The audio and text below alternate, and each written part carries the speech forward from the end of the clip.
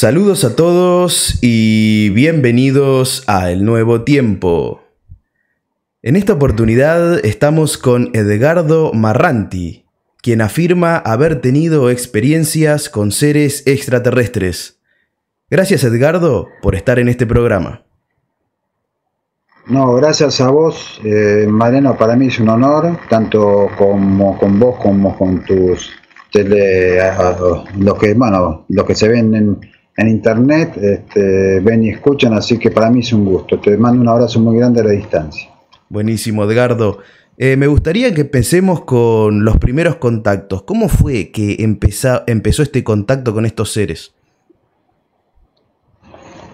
Mirá, Mariano, esto se remonta. Yo tengo 60 y ya cumplo cercanamente 64 años, ya estoy viejo. Pero esto se inicia a los dos años y medio de que yo había nacido eh, eh, teníamos un cuarto que lindaba con el cuarto de mis padres y un patio que ya no existe más, esto era en Buenos Aires, en, Villa Crespo, un patio cerrado con unos toldos de esos metálicos, ya no hay más en Buenos Aires, si hay habrá uno antiguo.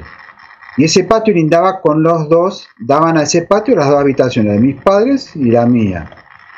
Bueno, en un momento dado me iba a acostar, teniendo dos años y medio, imagínate, es un chico que para nada que ver, o sea, eh, no tiene explicación, es como que anda a los tumbos. Y de golpe me iba a acostar en el patio ese que estaba con el techo ese que, era corredizo, traspasaban la pared y se acercaban unos siete u ocho seres todos encapuchados. Yo no le veía la cara ni las manos. Y de golpe como que aplaudían arriba mío sin tocarme, sin ruido, y agarraban con una tapa de cacerola. Y hacían un movimiento medio así, como si fuera tipo un rezo o algo así. Esto duró durante eh, más o menos cuatro años y medio de edad, o sea, dos años y pico de edad, duró, me da mucho miedo, tuve que empezar a gritar y lloraba, mis padres que, que lindaban con esta habitación en ese patio, venían y cuando venían mis padres, estos seres traspasaban la pared y venían a situarse, había un montón en este patio, estos seres encapuchados. Y bueno, en un momento dado hasta hay una melodía, ya no es muy conocida hoy, pero la bamba, bamba, bamba. Bueno, esa melodía yo la tarareaba en mi cabeza y a ellos los alejaba, no los, no los sacaba de vuelta al patio. Y bueno, esto duró hasta los cuatro años y medio de edad, me dio mucho miedo, por eso viví ya con miedo. Dormía con una pequeña luz, necesitaba dormir con una pequeña luz, si no, no podía conciliar el sueño. Hasta que a los 11 años, estando en la laguna de Lobos, acampado con mi padre y amigos de mi padre, en una carpa estructural tipo militar, dividida internamente por pared de, lona. Estamos, estamos apoyados, estamos eh, acampados cerca de la laguna de Lobos y de golpe una noche muy estrellada, bastante oscura pero muy estrellada, yo me voy a acostar y me acuesto mirando hacia la pared que daba al exterior de la carpa. Y ahí que de golpe, muy estrellado, una estrella empieza a titilar y se empieza a agrandar, agrandar y acercar. Cuando se acerca y se asienta a unos 500 metros de la carpa donde tenemos nosotros eh, asentada la carpa, esto que se asienta ahí es un plato volador invertido, es un plato. El, plato que nosotros tenemos en una cocina, pero invertido. El color era gris mercurio y sería como nieve, neblinas, como si hirviera el plato. De golpe se sitúan al lado, costado de esta nave, tipo plato, dos seres del mismo color de la nave. Eran como luminosos también, así un gris medio mercurio y, en un momento dado, o sea, se veían como si fuera o mujeres u hombres con pelos largos, porque caía como un pelo largo que se le unía a todo el color, o sea, no se veía diferencia de traje ni de cara.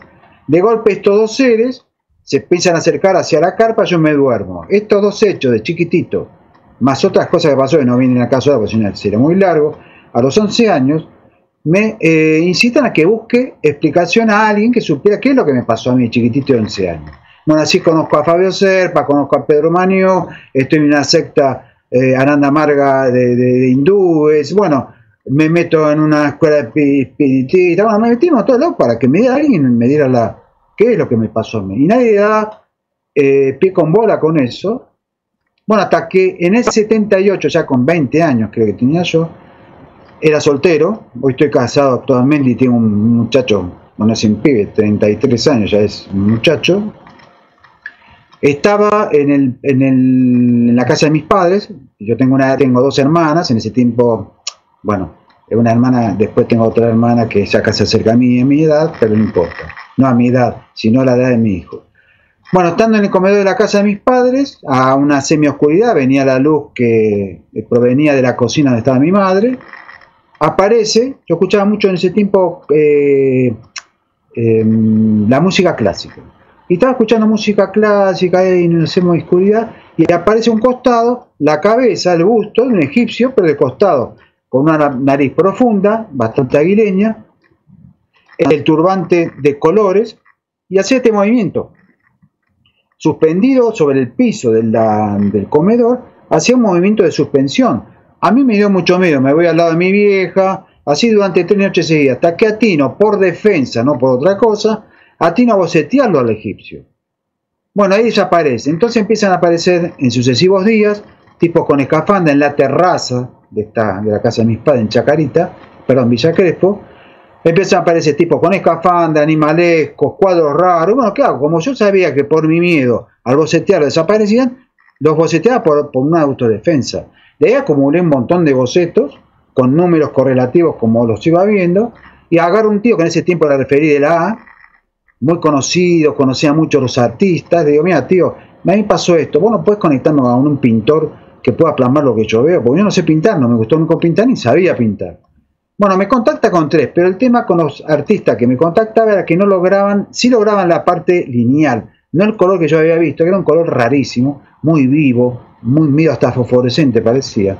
Bueno, ahí que empiezo a probar en témpera, cuando veo que algo sale, ahí me voy a una casa muy importante en, el centro de, Buenos Aires, en Talcahuano y Santa Fe, Villalba, no sé si existe, y busco, saco un número, pero busco el, empleado que me inspira confianza, digo, porque se van a burlar, si caigo acá, donde van todos los pintores y no sé ni pintar, lo engancho al flaco, lo espero y digo, mira, en realidad yo no sé pintar, recibí unos cuadros, necesito que vos me indiques qué llevo, qué no llevo, está. Bueno, así me, me, dio unas instrucciones muy respetuoso. Voy, cuando recién empiezo a probar en óleo, los secretos de la pintura me vienen toda la altura de acá de la frente, con voces metálicas y cortantes y me indicaban cómo mezclar los colores. Pero lo raro que hasta hoy sigue es que a partir del codo se movía vertiginosamente los brazos y pintaba. Y me encontraba con un cuadro que después, bueno, así yo no sé pintar. Bueno, hasta hoy, si me vienen a pintar, van a ver que aunque sea un frío bárbaro, yo no estoy en el polo tampoco, pero estoy acá en el sur, en la Patagonia Argentina, y bueno, y me tengo que estar pintando remangado, todo abrigado pero remangado, es como que alguna energía entraría acá por los codos. Bueno, y hasta hoy ahí empecé a, a pintar cuadros. El tema es que mi familia me empezó a aislar, mis viejos, mis amigos, ahí en ese tiempo había mucho de bandas, de estar en bandas de amigos. Dijeron, bueno, Garo se volvió loco. Bueno, me, encerré, me hice ermitaño. En ese tiempo me laburaba como hombre mosca en las torres de retiro en la Unión Industrial y Catalina Sur. Pero en un momento dado, digo, pucha, si, si, si mis amigos, que eran mis amigos de la infancia, mis padres, están tomando como un loco, ¿no estaré loco? ¿Qué hago? Ahí le escribo una carta muy profusa, con tres carillas, tres, eh, tres hojas oficio, a Pedro Romanio. Le digo, bueno, le dije todo, le conté todo más allá de lo que estoy contando ahora. Digo, como sabía que era un tipo muy ocupado, digo, Pedro, si crees que yo soy, estoy loco, un sí. Si no, un no. Con eso me sirve y ya me quedo tranquilo. Me cita a la casa, vivía en Rafael Castillo, provincia de Buenos Aires, cerca de Morón. Me dice, bueno, me coloca bajo un faro, él tiene una casa quinta muy grande, tiene armadas pirámides. Me dice, me, voy a ir hacia la oscuridad. Vos mirame a mí, pero tratá de seguir hablando que no me veas. Bueno, estaba tan efusivo con las experiencias que tenía, que le todo. Sale de la sombra y me dice, bueno, yo tengo lugar para vos, no tenés que tener miedo, vas a tener que ir a acampar unos 20, 20 y pico de días, solo, me dice. Pero antes que nada, vas, consultás con tu gente, con tu familia, a ver qué pasa. Después, si venís y me das el ok, yo te voy a dar una carta cerrada dirigida a este lugar y a la propietaria de este lugar. Listo. Bueno, hablo con mis padres, al final decido que sí voy. Esta, eh, voy a verlo a Pedro y esta, este lugar resulta ser la estancia de la Aurora en Salto Uruguayo o el ovnidromo de Salto Uruguayo.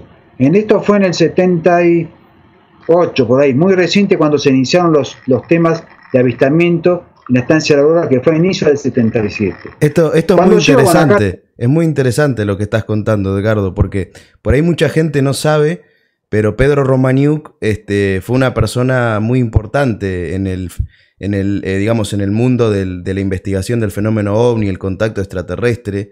Este, por eso que, o sea, que hayas tenido esta relación con él y que te hayas acercado a él, este, le, eh, le da mucha relevancia a tu historia también. Mirá, Mariano, yo después te voy a hacerme acordar, te voy a contar, nosotros llegamos a ser muy amigos con Pedro. Hasta, fíjate, cuando nace nuestro hijo, con la cesárea de mi señora, en vez de mostrárselo a mis padres o a mis suegros, vamos a la casa de Pedro con Feliz a la señora, que ya hoy están fallecidos, y le mostramos al bebé el que había nacido por cesárea, Alan. Bueno, este, fue una persona que gracias a él siendo eh, mayor de la Fuerza Aérea, a mí me hacía pasar como piloto de helicóptero para investigar eh, cosas militares que un civil no podía militar. Entonces accedí a un montón de lugares, entre esos fue Península Valdés, bueno, un montón de lugares con él, y él que sabía muchísimo y tenía un laboratorio propio para después identificar de qué manera lo que encontramos. Y bueno, eso me dio saber no solo por experiencias vividas, sino por incito de investigar, saber qué es falso, qué no es falso. También fui miembro de ONIFE con Fabio Serpa, era el cuerpo investigativo, había biólogos, médicos. Bueno, a mí me tocaba por la parte de experiencia que tenía saber cuando iba a un lugar qué sentía, qué vivía, qué veía. Y eso me enriqueció mucho también porque, bueno, aprendí un montón de cosas de las falsedades del tema, del falso testigo, de... Nos ha pasado, nos ha pasado, hemos viajado mucho por Argentina. Muy interesante. Y hemos encontrado muy interesante, ¿Eh? la verdad. Eh, pero para no desviarnos de, de, la historia, sigamos con el hilo. Dale. Resulta que este, Pedro te dice que tenés que ir a acampar a ese lugar que resulta ser la estancia La Aurora, que tampoco es un lugar común y corriente.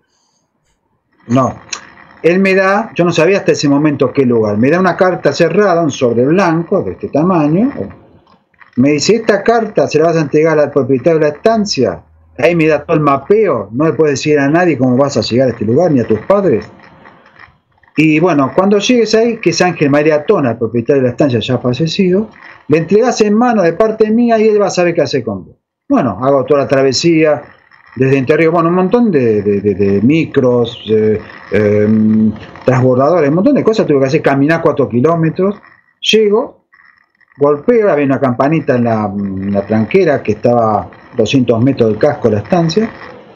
Vine a Ángel Maratón y le digo, mira, de parte de Pedro, yo qué sé, uh, bueno, ahí, esto me lo dio para, no sé, para que lo lea, que lo vea. Se va a un costado, lo abre y se empieza a sonreír. Y yo nunca supe que lo que le dijo él en ese sobre blanco Pedro. Va, se lleva el sobre, entra al casco de la estancia, o sea, la vivienda de ellos, y sale con un árbol, aunque parezca un verso todo esto. Te digo que eh, parece un cuento de fantasía. Sale con un álbum como cualquiera de nosotros podemos tener de fotos familiares, de hijos, de padres, abuelos, tíos.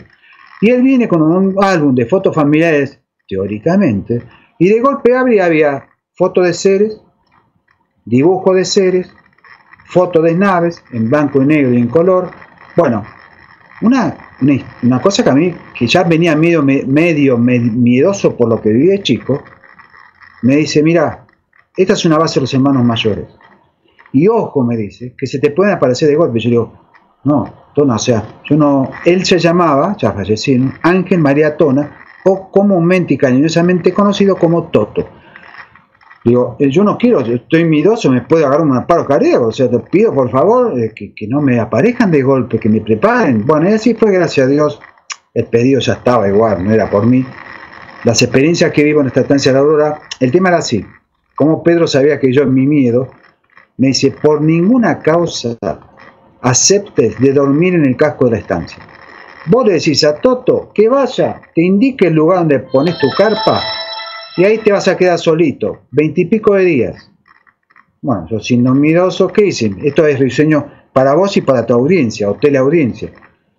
Yo tenía una bolsa de dormir de UV muy alta.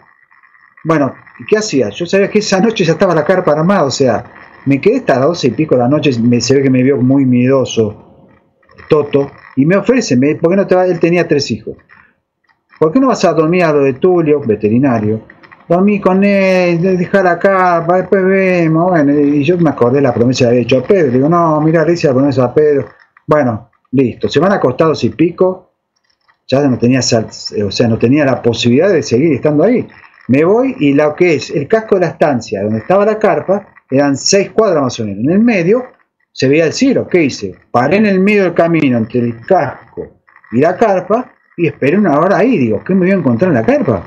Si esto aparece de golpe, bueno, al final me animo, me voy y ¿qué hago? Espío por una ventanita triangular que tenía la carpa, veo que no hay nadie. Chao, agarro la bolsa de dormir hasta acá, de dos metros y pico, me envuelvo con una toalla los oídos y los ojos para no ver ni escuchar nada. Bueno, gracias a Dios, todo ocurrió de día. Vi naves, se me aparecen seres, nos fueron preparando. Es evidente que ellos sabían con quién, a quién trataban.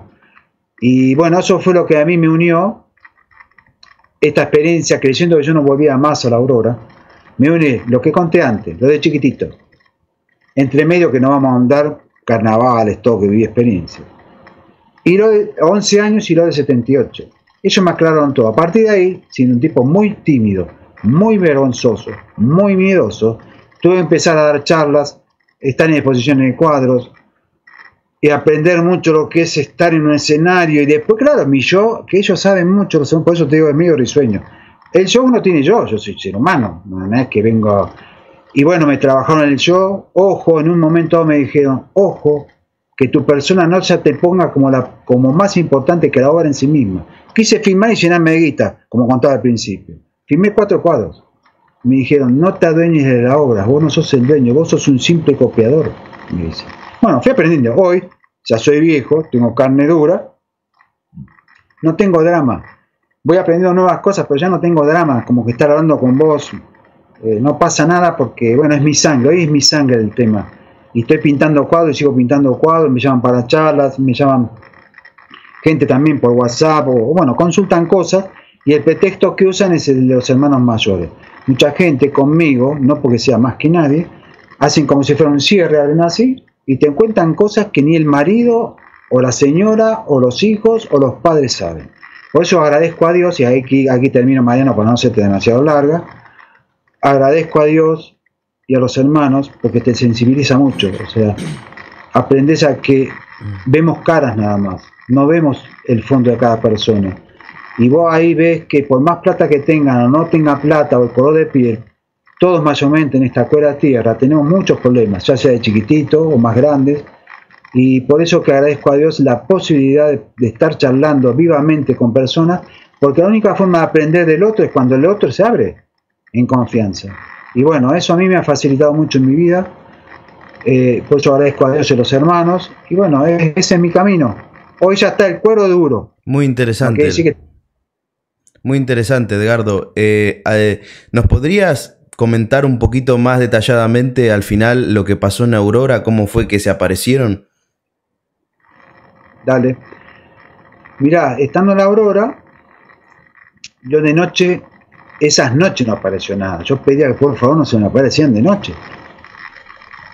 Y estando, era la tarde, me acuerdo, serían las 3 de la tarde, ponele, eh, allá la aurora es, es de Concordia, Argentina, del otro lado está Salto Uruguayo, o sea, parecido, parecido a lo que es el clima, todo, campos, pero con campos muy ondulados, semiserranos. Bueno, estando con Toto, tomando mate, ahí aprendí a tomar mate, yo no tomaba mate a pesar de ser argentino y todo. Y él me enseñó a tomar mate, de qué manera, poner el yuyito, papá. Entonces tomamos una galería mate, con Elena, la señora, también está fallecido hoy, y Toto. Y de golpe Toto se va a la tranquera, donde me recibió a mí al principio, la tranquera del casco, no la tranquera externa. Y empieza a grito, Gardo, Gardo, vení a ver lo que te están haciendo, vení, te están saludando. Bueno, voy a 20, 30 metros, salgo de la galería, estábamos tomando mate, voy hacia esa tranquerita chiquita y de ahí se ve mi carpa. Y arriba de la carpa, me parezca un verso esto, de día, de día y con sol. Había una esfera gigante, recoloreada, multicolor, que hacía arriba de la carpa, aunque parezca un verso esto. Ese 8 subí y bajaba y me dice, mira, te están saludando, me decía Toto. Y yo digo, wow, bueno, de golpe evoluciona, yo estaba adelante de un bosque. Esta estancia se componía en su momento, 1750 hectáreas, de dos bosques de eucalipto. Yo estaba la que estaba más cercana a la entrada del casco de la estancia. Bueno, y casi SS, es 8, ya grande, ya chica, pero siempre se mantiene como una luna gigante. De golpe, evoluciona atrás de la carpa, se va hacia el bosque y atrás hay un tajamar. Un tajamar que después yo tuve experiencia, se sacaban agua, bueno, eso vendrá para otro, harina de otro costal. ¿Qué pasa? Mirá el miedo de un tipo como yo. Bueno, del día la pasé de día. Cuando empezó a caer la noche, yo temblaba, digo, ¿qué habrá dentro de la carpa? bueno, lo mismo, estiré 12 y pico de la noche, me paré en el medio. Y digo, bueno, tengo que ir a la carpa. Y agarré de vuelta, espié por la ventanita triangular y vi que no había nadie escondido. Me metí otra vez. La toalla, la bolsa dormía hasta acá. Y gracias a Dios empecé a vivir este, de día las, eh, las experiencias. Veo naves, y después una cosa rarísima, no rarísima, deslumbrante. Ellos, lo que es todo el perímetro de esta estancia de Aurora, 1750 hectáreas, ellos ya cuando empezaba a atardecer eh, venían las luces, o sea, naves, a una más grande, otra más chiquita, y se situaban en el perímetro de toda la estancia, y de noche empezaban a, mandar rayos, abanicos hacia el cielo, empezaban de algunas más grandes, salían como más chiquititas, como estrellitas, y que quedan citándose a lo que sería la periferia, el límite del campo de esta estancia Y bueno, esto sí no te voy a... Em, no puedo decir el por qué, pero voy a contarlo. De golpe desaparecen como dos seres, pero medio lejos, con una nave por detrás tipo plato. Imagínate, yo estaba medio loco. Y digo, pregunto, o sea, pregunto en el pensamiento, no a los gritos ni con, el idioma nuestro o la voz. Y digo, lloraba yo, porque al verlo a ellos así de esa manera es como, imagínate, yo no lo vi nunca. Tampoco salgamos de religiones. Es como ver un Jesús, un Cristo, no sé. Lo que pasa, esto es raro, capaz que las personas lo han vivido aquellos que han tenido experiencias. De golpe, vos te sentís que hay como un cierre que hace así y te abren como un cuero. Y están viendo todo lo más oscuro que tenés, todo lo que, mismo vos ni conocés de lo que tenés de oscuro, y ellos se sonríen y no te critican ni te juzgan. Entonces no tenés vergüenza. ¿Y qué pasa? Yo lloraba, no soy de llorar fácil, no soy de llorar fácil, Lloraba y pregunto, ¿por qué a mí?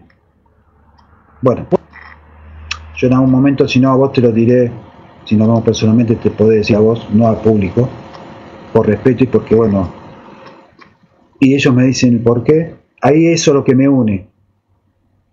Más allá de otras experiencias que tuve, vi platos, esto va a ser un sueño para tu teleaudiencia. De noche, yo me agarraba necesidades fisiológicas eh, bueno, digamos, a ver, sin faltar respeto a nadie, orinar. Salía en el medio de la noche y de golpe, una de tantas experiencias, y de golpe me rodeaba a la carpa y a mí, me rodeaba una neblina, que de golpe la neblina se empezaba a abrir, en, era como un anillo, se empezaba a abrir y mostraba seres caminando y naves asentadas.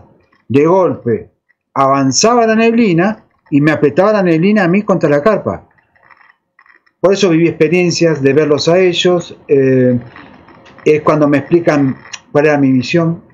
Creyendo yo no volvía más. Después estuve yendo nueve años seguidos a diez años.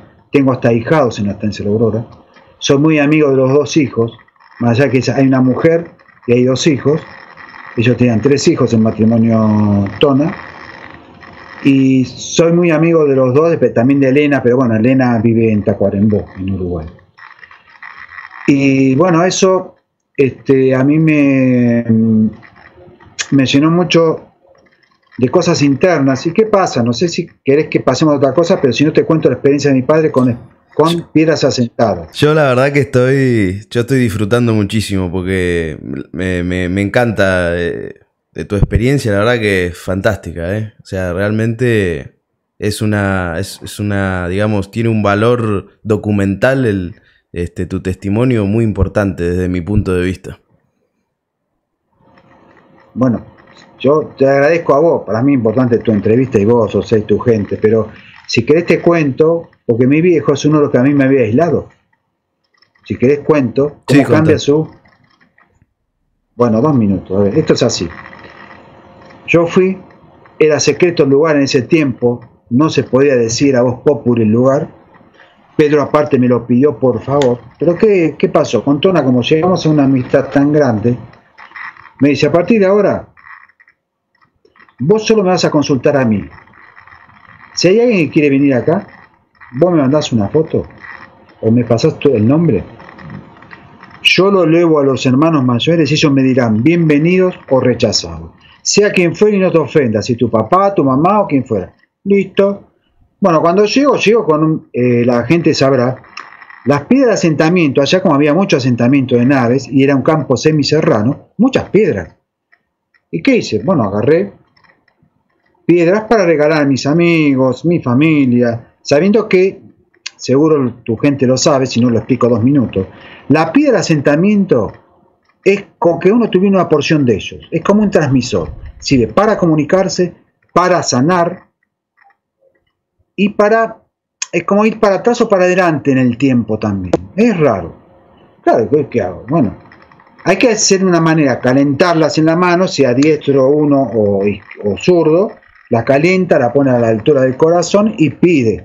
Cuando recién se calienta la piedra empieza a funcionar como un transmisor. Bueno, ¿qué hice? Me agarré un montón de piedras de asentamiento para amigos, mi familia, mis viejos, mis hermanas. Bueno, cuando llego, le digo a mi viejo, que era uno de los que a mí me habían, bueno, este está, se volvió, está del tomate, está loco, le agarré, yo lo había todo en un trapo, en un tejido, le digo, bueno, elegiste una, una de estas piedras, expliqué lo que son piedras de asentamiento, para qué sirven, para sanar, para comunicarse con ellos, como si fuera un pequeño transmisor.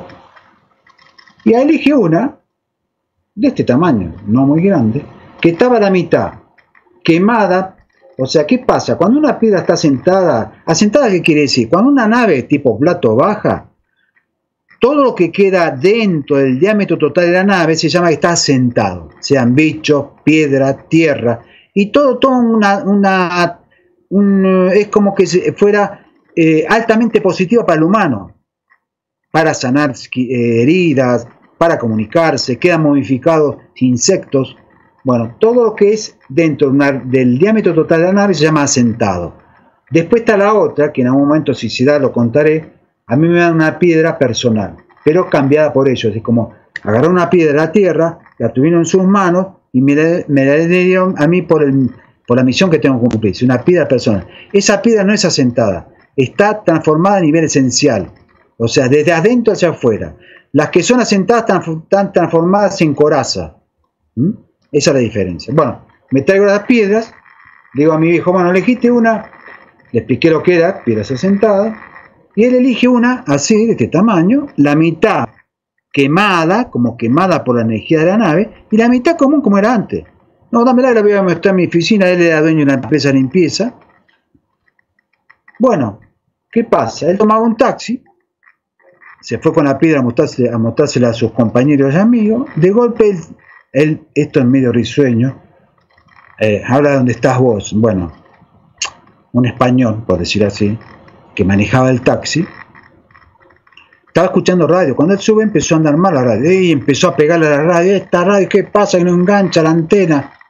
Y mi hijo se acordó que tenía la pila. Entonces le pregunta, escuche usted, antes de que yo subiera, ¿escuchaba normal la radio? Sí, pero no sé qué le pasa. Ahora, no, listo, gracias. Chun, se bajó. Claro, estas piedras interfieren, la onda, de las radios o televisiones o aparatos eléctricos. Bueno, a la muestra, pero el tema más grosso es que esa piedra estaba transformada a la mitad, se empezó a comer, la transformada empezó a, transformar todo el resto, y esa piedra pasó a tener ya todo asentado. Mi padre, ¿qué hace? Me pide, por favor, no me puede llevar allá, quisiera a tener experiencia. Con otro amigo que fue como un padre para mí, Mario, también ya está fallecido. Mi padre también ya está fallecido. Y digo, mirá, la cosa es así, yo tengo que mandar el nombre de usted y consultarlo a Toto, que era Tono. Listo, hice así. Toto me manda una vuelta y me dice, trae los que son muy bienvenidos y van a tener su experiencia. Listo. Vamos con los dos, Mario, eh, mi viejo y yo, vamos, y mi viejo muy contado de chistes verdes, ¿viste? Bueno, vamos a la carpa, nos quedamos en la carpa, buena relación con Toto, pero a la noche nos vamos y le digo, bueno, a partir de las 12 de la noche vamos a caminar por los campos. Acá se camina así y se ve de noche. Y acuérdense que es un campo semicerrano. Y justo enganchamos un campo que lo habían trabajado, viste, los terrones cuando los, no me acuerdo el nombre, cuando los parten en pedazos, bueno. Y pisábamos, nos caíamos, y mi viejo empezó a, contar, chistes verdes con el otro amigo Mario. Digo, che, loco, digo, hay un montón de momentos para contar chistes verdes, estamos en un, lugar que es para otra historia, dale. Bueno, ¿qué pasó? dos segundos, bueno, el semicerrano, acuérdense, de golpe, allá había muchos cazadores de liebre de noche con los buscahuellas, que son, que iluminan, y en este caso había, estaba nublado, techo de nubes bajas, y yo veía atrás de una loma, como que alguien estaba como iluminando, y digo, mira, ojo, pueden ser cazadores esto, ¿eh? Pero ¿qué pasa? Hay un código, esto es bueno que lo sepan, capaz ya lo sabes vos, Mariano, pero tu audiencia es bueno que lo sepan, facilita mucho contacto. Esto es así. Si uno, tiene uno ve en la noche, ve una estrella o algo medio ahí que dice, bueno, esto no es algo común. ¿Podrán ser los hermanos? Bueno, hay una forma de comunicarse. En este caso con la linterna, estábamos con mi viejo. Se apunta con la linterna, aunque diga, diga, pero aunque está mire y mire kilómetros, no va a ver. La onda llega. Alumbra con la linterna, atrás del cerro este que se veía como una un abanico de luz como busca huellas, cazadores podían ser.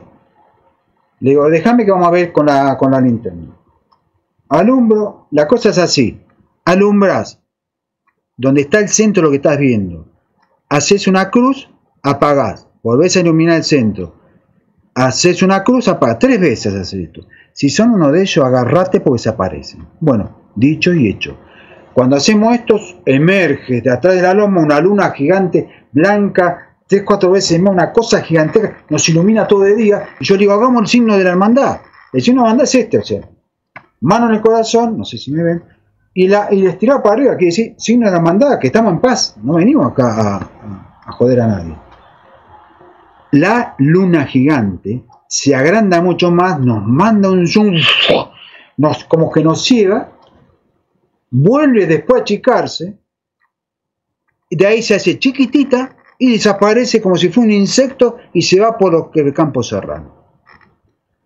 Bueno, a partir de ahí, mi viejo cambió, mi viejo es un tipo muy bueno igual, cambió y no solo llevé a mi viejo, al amigo, llevé a amigos míos, bueno, mi hermana, eh, eh, siempre con el respeto de que Toto me tenía que a mí habilitar, me decía, no, me dijo a varias personas, no, no es bien recibido, listo, no se lo decía a la persona para estimarlo bueno, no sé, quiero cortar para que vos guíes un poco. Muy interesante, la verdad, muy, muy interesante. Em, ¿En algún momento tuviste la oportunidad con estos seres así de, de, dialogar y que ellos te contaran algo de ellos, de quiénes son ellos? Sí, o sea, ellos manejan lo que es el transmisión de pensamiento. Vos te llega de una manera cortante y una voz metálica. No hay palabras, como yo estoy hablando con vos, con tu audiencia. No existe. Vos estás como tieso.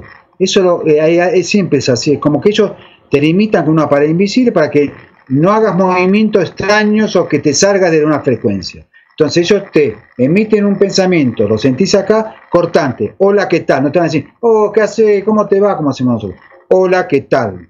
Y después te indican cosas que son terminantes. Ellos em, ocultan, en realidad, ocultan su verdadera origen. Yo sé que son seres dimensionales. Fíjate que yo los he pintado. Maya, Lea, Marcos, Alan, eh, Nicolás. Bueno, voy a decir, pero son todos nombres humanos, sí.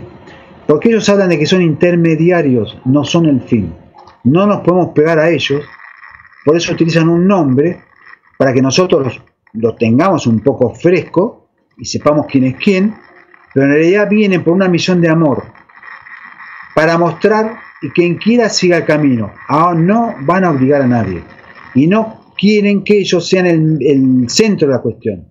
son un medio, por eso no dicen mayormente de dónde vienen o de qué planeta vienen. Por lo menos en mi caso fue siempre así. Más allá que podés intuir, ¿no? O podés hacer algunas cuentitas.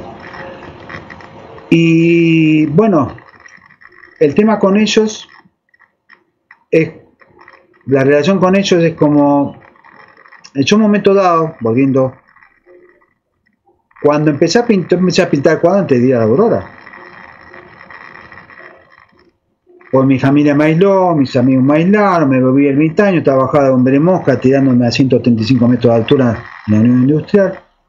Me iba de la, de la montaña de Iricia, de este edificio, al altillo donde pintaba. Ahí los hermanos me empezaron a ellos a mostrarse, los pinté, varios de ellos pinté, a Marco, Alan, Lea, bueno. Y ellos pasaron a ser mi familia. Entonces me dieron como un fogonazo de, información y después me dejaban para qué. A ver cómo reaccionaban. ¿Qué pasa? Ellos no quieren autómatas. Ellos quieren seres humanos que vayan creciendo por sí mismos. No pegados a nada ni a nadie, menos a ellos. Porque es muy normal que un humano ve la luz y se queda pegado como la mosca. Busca de estar pegado y no labura. Ellos quieren que labures. Por eso yo tuve muchas pruebas en mi vida. Tuve muchos golpes en mi vida para aprender un montón de cosas y saber que yo tengo de negro esto y tengo de blanco esto. O sea, somos seres humanos. Entonces, la relación con ellos primero fue muy de fuego, fuego. Después se fue quitando porque yo lo único que tenía que hacer era tomar cuadros, pintarlos, descifrarlos. Y en momentos muy jodidos de mi vida sí han aparecido. Cuando estuve a punto de morir, en un momento me agarró una fiebre de 40 y pico de grados o en momento que estoy por meter la pata, ahí sí aparecen. Gracias a Dios por ahora estamos todos tranquilos. Porque es un poco la relación de ellos conmigo. Y mm, bueno, ha sido todas situaciones de hasta esto medio, a ver, medio con respeto le voy a hablar a vos y a tu audiencia. Aunque parezca un verso.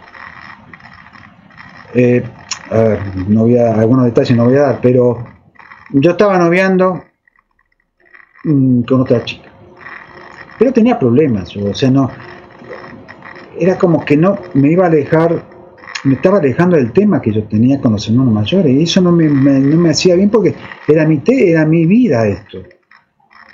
Bueno, en un momento dado, eh, agarro la piedra que me dan ellos, no de asentamiento, la que me dan ellos, una piedra personal para la misión, que trabaja de esta manera. Yo soy derecho, la agarro, tiene la forma como si fuera un transmisor, en algún momento te la mostraré, Mariano si se da.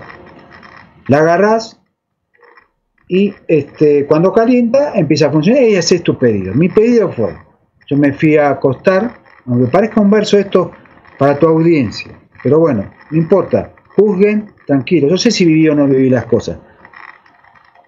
Me voy a acostar con la piedra y yo estaba mal en ese momento, así, con esta pareja, muchos líos. Vine en unos aspectos, mal en otros.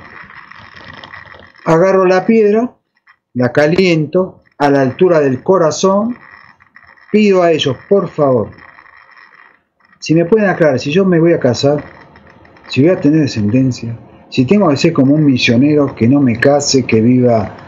Bueno, no sabía, estaba como aturdido. Bueno, aunque les parezca un verso a la audiencia lo que estoy contando.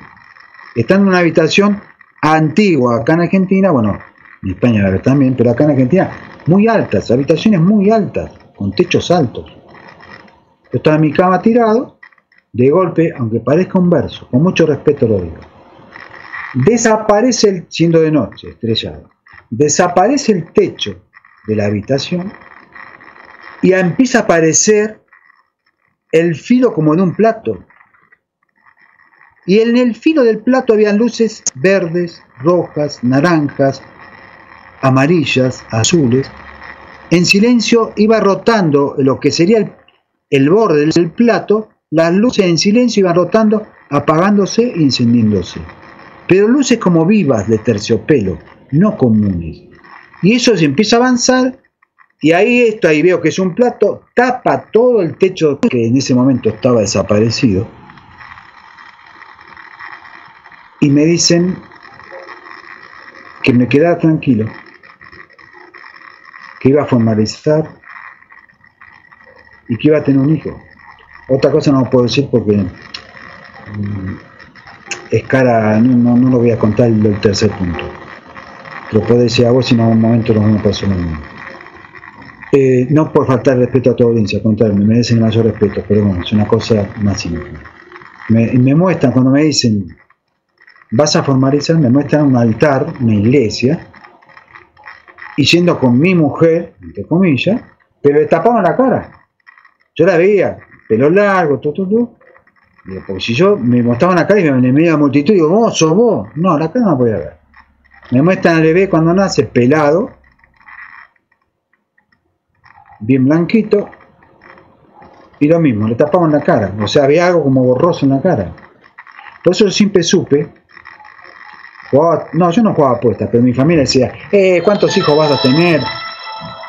Yo digo, yo voy a tener uno solo, va a ser varón. Claro, la gente no que dice, ¿este dónde sacó? Bueno, un dicho y hecho. Actualmente tenemos un solo hijo, Alan, tiene 33 ahora, es músico. Y, bueno, por eso eh, yo tengo que agradecer mucho a Dios.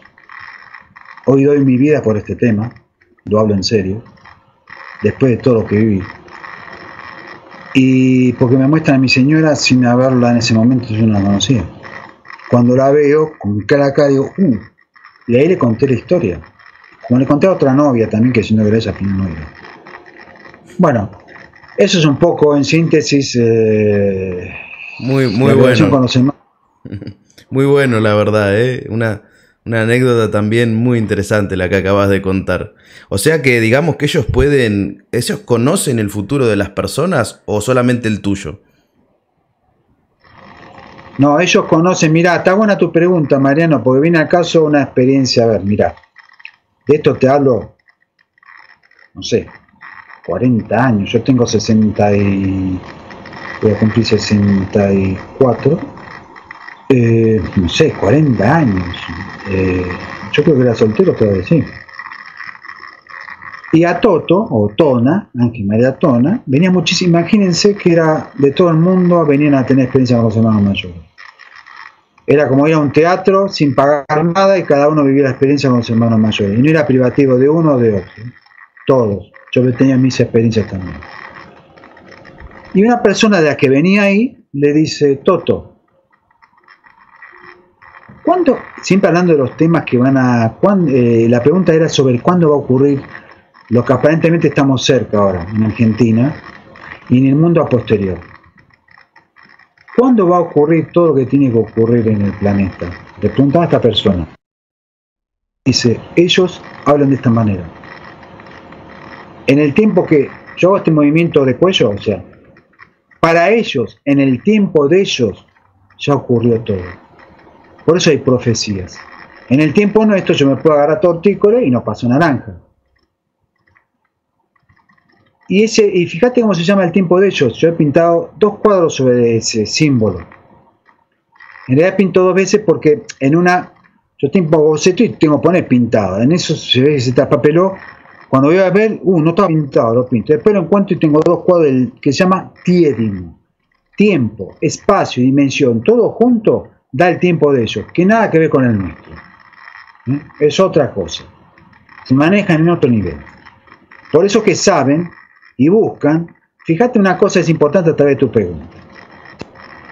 Hay un cuadro, un montón de cuadros, pero hay un cuadro, se llama La generación edificante, tiene un título largo, no me lo voy a acordar todo, que es, esto sí, en síntesis, escuchen bien tu audiencia, o teleaudiencia, es la gestación de un ser extraterrestre o dimensional dentro del vientre de una madre común a través de una relación común humana, o sea, sexual. ¿Qué pasa? Muchos de ellos nacen como humanos comunes sean mujeres u hombres. Mayormente de estos chicos que nacen no pueden saber que son uno de ellos porque se van a querer ir. Ya esto no, ellos no necesitan estar con vestidos sucios o pesados o problemas, pero viene en misión de amor y de entrega. Entonces, cuando es que nacen, le hacen perder de que es uno de ellos. Sí lo van asistiendo. Entonces lo van dirigiendo hasta que cumpla lo que tiene que cumplir. Y eso se da mucho, y más en esta época estamos cercanos a un cambio, especialmente en Argentina, va a haber en Sudamérica, y hay muchos de ellos trabajando entre humanos, humanos comunes, sean mujeres u hombres. Muy, muy, sí, sí, sí, muy interesante, ah. interesantísimo. Yo. Sí, a, veces la conexión está como flaqueando un poco, pero yo cualquier cosa te, aviso, no te preocupes. Eh, vale, o sea, vos decís eh, que estamos cerca de, algo, ¿no? Que primero pasaría en Argentina y después pasaría en el mundo. Eh, de, qué está, ¿De qué estás hablando? Eh, mira, Mariano, acá se habla de la profecía de Paravicini. Sí, sí. Benjamín Solari para. Le decían el, el, el, Nostradamus argentino. Ya murió. Muy amigo de Pedro Manio. ¿eh? Muy amigo. O sea, directo discípulo era Pedro Maniu de Pelón o Paravicini. Que está en la profecía de Paravicini por todos lados. Eh, se habla acá en Argentina, y por consiguiente va a ser después en Sudamérica y América, está anunciado el famoso hombre gris, que no va a ser ni militar ni político, y van a ser de las masas. Y explica ahí más o menos esas profecías, después buscarlas, ahora de cómo va a ser todo, aparentemente, cuando no aparentemente no estamos lejos, acá en Argentina, no con eso estamos hablando de privilegio, el privilegio no existe en estos temas. Y este hombre gris va a estar conectado directamente con los hermanos mayores de luz, estos que estamos hablando. Le van a abrir la cabeza, no literalmente, y le van a hacer conducir el gobierno, un gobierno de luz a este hombre gris. Este hombre gris, aparentemente, es muy vaticanista, muy papista, no sabe nada del tema ovni, no le interesa el tema ovni, pero cuando se salga de las masas, es una persona muy encumbrada, peso específico propio, va a ser abierta su cabeza y va a gobernar a Argentina y la va a llevar a potencia de luz o samaritana. De ahí va a empezar Uruguay, Brasil, bueno, todo, y se esparciendo. Lo de, lo de Europa va a ser a posteriori. Va a haber, de acá, va a haber como una, un abrazo de atraer personas del viejo mundo para que vivan en nuestra Argentina que está casi vacía, la Patagonia está vacía, y ya está proféticamente, lo ha dicho Nuno Dione, van a venir como hormigas y van a ser poblada de Argentina salvando que somos argentinos, no interesa las razas, salvando todo eso. Y eso es un poco, aparentemente no está lejano, aparentemente. Yo he pintado cuadros, em, entre comillas, proféticos. Lo he pintado este hombre gris, no en la su fisonomía, sino en su parte interior y esencia, como emisario que va a cumplir una misión importante. Aparentemente, si es real, yo le voy a entregar en mano este cuadro a que ya está pintado, Mendolar se llama, Mendolar el cuadro, y se lo voy a entregar en mano a este hombre gris que todavía no pasa naranja. Y este, bueno, también eh, sabrás seguro, vos estás en España, ¿verdad? Lo que ocurrió con el Ara San Juan. Sí, el, submarino que, bueno, desapareció. En realidad no, no está claro realmente qué, qué, es lo que pasó. No hay una certeza absoluta por parte, digo, de los medios de comunicación y demás, ¿no? Es así, pero yo he tenido experiencias. Eh, tómelo con pinza tu audiencia, no tienen por qué creer nada eh, cuando desaparece esto viene a colación por el hombre gris, eso, Estados Unidos, por eso. Si querés, digo algo o no de lo de, esto de Lara San Juan. Decilo tranquilamente, a mí me encantaría escucharlo. Bueno, Esto hace dos años y medio, no sé si me equivoco en la fecha, creo que hace dos años, casi van a ser tres años que desapareció el Ara San Juan. Pero nada que ver, ninguna relación, ningún amigo, nada tenía dentro del submarino. Y de golpe sí me atrajo que eh, se desaparece cerca de donde habíamos estado con Pedro Manio investigando, cerca de la península Valdés, porque habían desaparecido en un tiempo que fuimos con Pedro 600 de las Fuerzas Armadas, 600 militares, se volatilizaron. Y fuimos a investigar, a buscar testigos, y ahí es donde yo veo un cuadro que llama La ciudad Heliap, está pintado, en el 88 creo, si no me equivoco. Y digo, pucha, pero es es la donde tenemos con Pedro. Entonces me aboqué a mirar todas las noticias digo, a ver si lo encuentran, qué les pasó. Bueno, ya los vos populis que no lo encuentran, pero yo veo una imagen que me viene como no conozco, no sé nada de submarino, y veo que de golpe, no sé si es proa o popa, algo se produce como que, como que se abriera algo, no bombardeado y empieza a entrar agua marina, agua de mar, y instantáneamente un plato gigante se los chupa a todos los tripulantes, a los 44, entre ellos una mujer. Bueno, ahí empecé a ver otras cosas, y digo, ¿qué hago con esto? Porque esto es hablar de locura, me van a querer internar, me van a querer meter en cana, empecé a ver cosas de lo que había pasado con ellos, cómo lo preparaban en esta ciudad de todo un montón, y qué funciones estaban cumpliendo ya, maestrías. Bueno, y digo, eh, a ver cómo eh, me contacto con gente de Armada, amiga, y le cuento lo pasado. Me dice, mira, mientras vos lo que hables, lo seas muy respetuoso, no vas a tener problemas. Tenés que ser muy fino para hablar. Bueno, estoy escribiendo un. Eh, esto. Eh, esto que para oficina. Eh, ¿Cómo se dice cuando escribes oficina? En lo que tenemos en la compu. El. bueno. Digo, bueno, voy a publicar esto. Lo que vi, que pasó con los, con los tripulantes. y bueno, de, me viene la imagen de un amigo no vive acá, vive en Santa Fe. Marito Gorastarrazo, también un tipo que está muy metido, contador público nacional, está muy metido en el tema. Cuando termino de hacer esto, voy y lo llamo y digo, mira Marito, vi tu, imagen, eh, yo ya estoy comprometido, vos que decís, no, nos comprometemos y armamos un video, y armamos un video de la gran. Este video sale, lo publicamos en varias de internet, Facebook, varios lugares. Claro, me empiezan a comunicar por Facebook familiares directos de los tripulantes. Porque habían vivido experiencias, unas con sus hijos, con su esposo, bueno, eran como 7 u 8, no más que eso, eran 44 los desaparecidos. Bueno, esto a mí me enriquece mucho, empecé a ver realmente cómo te llevan ellos la, base, bueno. ¿Qué sucede? Ahí viene a colación del hombre gris.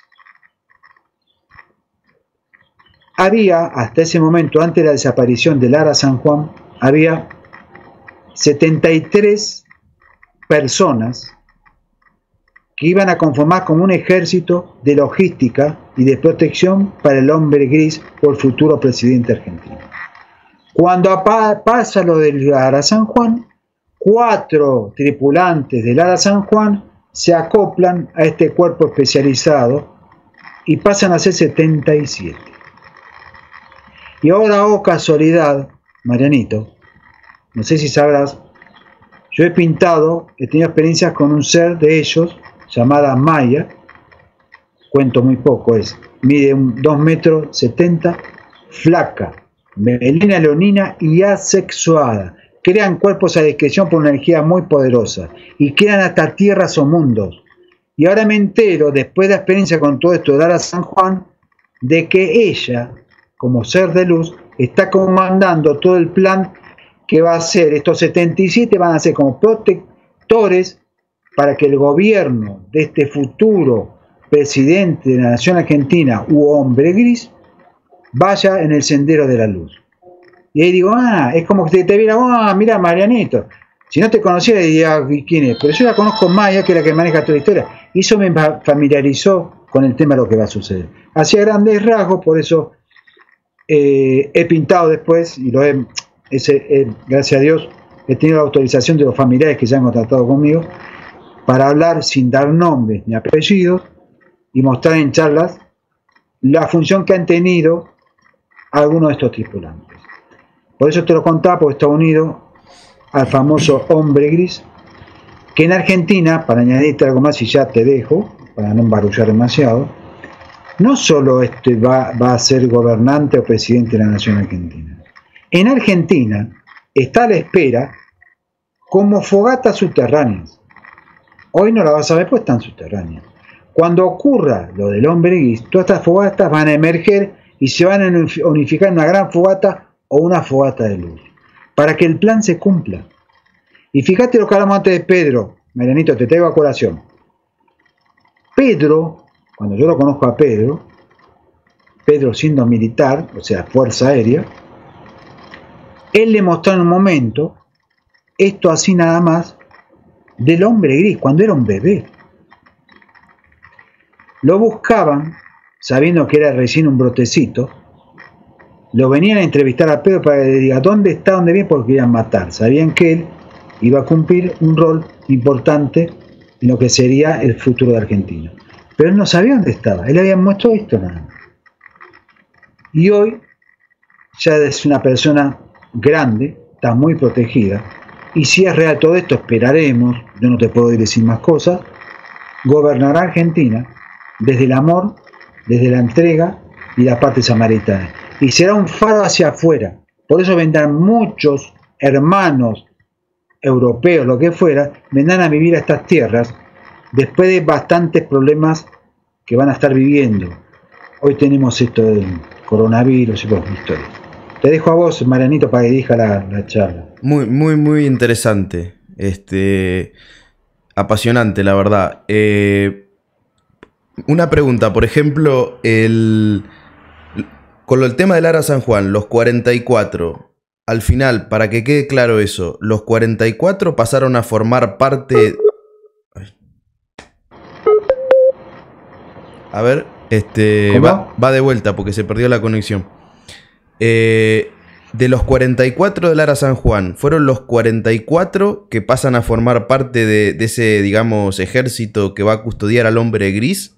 ¿O solamente eran, eran algunos? Cuatro. Cuatro. ¿Y el resto qué pasó con el resto? No. Están cumpliendo otro tipo de funciones. Les enseñan a manejar naves. Los que van a estar encubiertos trabajando en pro y a favor del hombre gris es un comando especial adoctrinado por los hermanos mayores. Entre eso hay tres, perdón, cuatro tripulantes del Ala San Juan.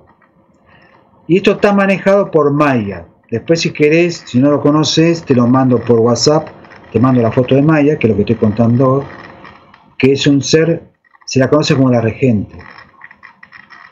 No solo de Capilla del Monte, de la base de, los hermanos que es ahí en Erx, sino también en Sudamérica, en Perú se la ha visto mucho. Y acá con el tema del Ala San Juan, la pérdida de San Juan y la función que van a cumplir. Solamente van a ser cuatro. Los demás están en distintas funciones. Están como en una, a ver, maestría. No dejan de ser seres humanos, pero son maestros. Para nosotros, uno de ellos ahora, estar conviviendo con tanta graduación de luz, sus ojos son distintos, su cuerpo es más sutil. Entonces no dejan de ser seres humanos, pero para nosotros sería como un shock de, del choque de energías. Se los ve muy puros. Fíjate, hay una cosa, esto es medio, está bueno el dato lo de una persona que es, sería la prima de uno de. La han, han llevado personas ahí, a esta base, Heliap, la llevan a esta chica, la preparan, le dan en el almuerzo, cuando van a comer, le dan una pastillita que las vuelve a todos, sean mujeres u hombres, los adelgaza muscularmente perfectos y están siempre alegres.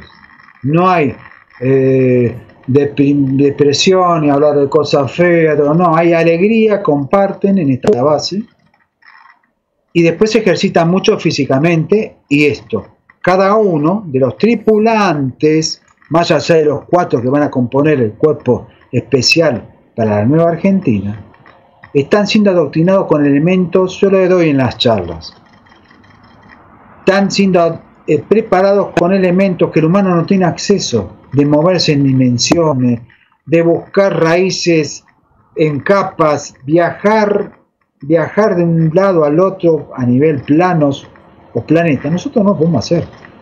Por eso son, entre comillas, merecidos y privilegiados. No hay regalo. Es evidente que estos tripulantes del Ara San Juan, más allá que es doloroso, porque ¿qué me pasa a mí? A mí se me han comunicado familiares y hay una dicotomía y es entendible. Lloran y como los han visto, a ellos se, se les han aparecido, está la dicotomía de llorar porque no están físicamente y agradecerle a Dios que sus hijos o esposos están cumpliendo una misión de luz. Es medio contradictorio, pero es así. Y yo he crecido mucho en esto de Lara San Juan porque me dieron la posibilidad de sensibilizarme.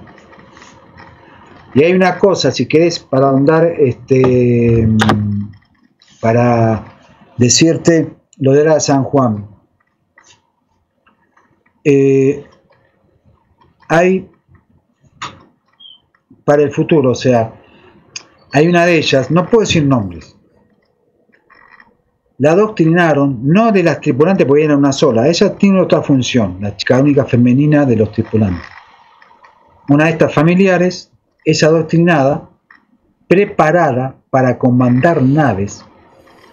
No hay enfermedades en esta base, pero siempre acompañada con un ser de los hermanos mayores. Y están practicando eso, están moviéndose en eso. Nosotros la verdad que no sabemos nada, poco y nada sabemos de los movimientos espirituales.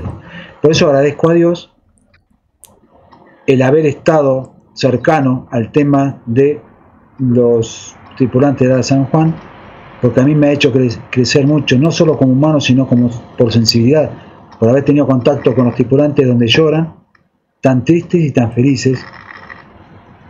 Y, a ver, hay una... Hay un caso, no puedo dar nombres, disculpame Marianito, uno de los tripulantes, antes de desaparecer cuatro meses, cinco meses, tripulante de Lara San Juan, estando en la casa de su abuela, hacia la mamá de su mamá, agarró un papel y, garabateó. No se sabe qué. Se levantó y se fue. La abuela de él, o sea, la mamá de su mamá, me contaba a ella, su hija, que no tira ni un papel de caramelos. Junta todo. Juntó lo que él, su nieto, había hecho. Cuando me lo muestra, esto después si querés te lo mandaré por privado, si no lo vemos, veremos si podemos mandarlo. Bueno, eso lo veremos después. Y esta muestra a Lara San Juan ovnis o un plato eh, volador muy grande cerca de Trelew, desaparición y una isla en el Índico. Evidente que ya estaban inconscientemente o espiritualmente preparándolos a los tripulantes del ala San Juan. No a todos, en este caso se ve que son antenas, algunos serán más antenas que otros. No, no te quiero aburrir con esto, Marianito, dirigivo. No, no, la verdad que yo estoy, yo estoy, no sé, estoy flasheando. La verdad que es increíble, este, me parece realmente increíble eh, la historia la versión que estás contando que a la que has tenido acceso, a la que afirmas haber tenido acceso, la verdad que es apasionante todo lo que estás contando. Es como una, una realidad paralela, ¿no? Que, o sea, es como, o sea, es como nosotros vivimos en una realidad, pero lo que nos estás contando es como una versión alternativa de, de los acontecimientos que son, es mucho más esperanzador, digamos. Sí, fíjate, sin dar nombre, siempre respeto a la identidad de las personas que son familiares, en este caso la mamá de uno de ellos, de un tripulante de la San Juan, se le aparece hace poco el hijo, diciéndole, mamá, yo estoy vivo, ahora no estoy en la base submarina, que es la que yo pinté, Heliap, estoy en tierra, en una isla, vamos siendo preparados. y le dijo así, creo que lo de Lara fue hace tres, se va a cumplir tres años, si no me equivoco. A los cinco, a los cinco años de desaparición de Lara, mamá me va a saber. O sea que, en realidad, a mí me hace crecer mucho este tema, sin tener amigos ni familiares dentro del, de Lara San Juan. Y en realidad, todo esto me movió por el lado de Maya, el ser que yo he pintado, como conté antes, 2 metros 70 de altura, flaca, melena leonina y asexual. Porque ella es la principal que está actuando en esto. Y se bien que yo la entiendo por qué a mí. O sea, digo, yo no tengo nada que ver con esto y encima, ¿qué pasa? Puedo, estar, eh, puedo ser el pato de la boda. No, después que supe que era Maya, estoy tranquilo, eh, me permitieron, bueno, hablar de esto, por eso lo estoy hablando, sin dar identidades lo hablo en charlas y ya muestro, yo no lo puedo mostrar acá, muestro la función que están teniendo sin dar nombres. Solamente lo saben los familiares y yo quiénes son los que están cumpliendo esta función y a, la que, a la que fueron preparados y adoctrinados. Y hay una cosa, no envejecen. En esa base, no envejecen. Van, están viviendo otro tiempo. que es parecido a los de los hermanos mayores o seres de luz. Están en otra coordenada de tiempo, aunque están acá en la Tierra, están acá. Si es que todavía no, creo que no están más en la base, están en una isla. Tú no te puedo decir en el Índico, no te puedo decir más. O sea, ya no están en, las, en las aguas abisales o profundidades abisales. Y esta base, que la Heliap que he pintado, está, a ver, acá hay un doble tema todo esto, porque, a ver, está en una fosa abisal de 6.000 metros de profundidad, pero a su vez, abajo ese lecho profundo 5.000 metros más, o sea, imposible que un humano llegue. Ahí estaría esta ciudad que después si querés, vos me lo decís por privado, te mando la foto de Ciudad de Iliab, yo qué sé, lo que vos quieras me decís, te lo mando para que, bueno, decía, ah, bueno, es esto. Y ahí estaría esta famosa ciudad Geliap, la base submarina. Pero ¿cuál es la mirá? A ver, te voy a contar algo, no me quiero ir mucho porque quiero que dirijas vos la historia. No, no, a ver, no voy a dar el nombre porque era muy conocida en su tiempo. Tiene un programa de televisión muy importante. Los primeros, el primer, uno de los primeros programas sobre eh, cocina, preparar, como me acuerdo había un programa llamado Buenas tardes, mucho gusto, o algo así. Bueno, este era un, programa parecido, dirigido por una mujer que tenía, ya falleció, capaz que está el boliche, tenía un boliche que vendía todas cosas naturistas, yuyos, harinas integrales, bueno. El hijo de ella, uno de los hijos de ella, no sé por qué, cuando tenía vacaciones vivía en Buenos Aires. Cuando tenía vacaciones venía solo acá. Yo estoy viviendo en Bolsón. Estoy a 160 kilómetros por ahí de Bariloche, o sea, más al sur, entre Esquí y Bariloche. Cosa igual que me quiero ir a un momento, si Dios me lo permite, a Córdoba. Vamos a salir a otro costado. Este chico venía acá a pasar sus 15 días de vacaciones en un río que está acá atrás de mi espalda, lo que están viendo ustedes. O sea, en delante tenemos el Piltriquitrón, que no lo van a ver. Para atrás está el río Quenquenté y para atrás está el río Azul, Blanco y son todos ríos de cordillera desde hielo. Él iba mucho solo al río Azul. 15 días se volvió a Buenos Aires y volvió a su laburo. En una de esas tantas avenidas no vuelve a Buenos Aires. Su mamá se preocupa, llama y averigua por bombero, policía. Mi hijo pasó esto, lo da como desaparecido. ¿Se ahogó? ¿Qué sucedió? Bueno, buscándolo en la costa del río Azul, atrás de mi espalda. El río Azul desemboca en el lago Puelo, Chubut, ya es Chubut, esto es Río Negro. Encuentran a la orilla del río Azul, bien dobladito, que vienen unas zapatillas, pantaloncito, una remera, la remera de este chico, del hijo de esta mujer. Bueno, ¿qué pensamos? Se tiró al río, el río Azul son ríos de deshielo, y algunos se llaman cuatro brazadas. Vos, si no llegás a la orilla en cuatro brazadas, te morís de hipotermia. Este es un río no tanto, pero tiene porque viene de hielo de las montañas, de la cordillera de los Andes. Bueno, ¿qué pensamos? Se tiró, se suicidó, buscaron un cadáver, nunca un cadáver.